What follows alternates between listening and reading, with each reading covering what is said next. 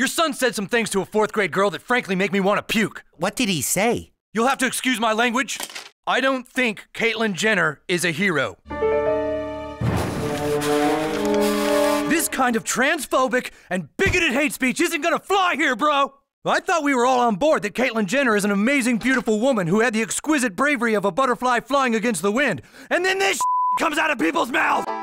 Brand new South Park, Friday at 10, only on Comedy Central.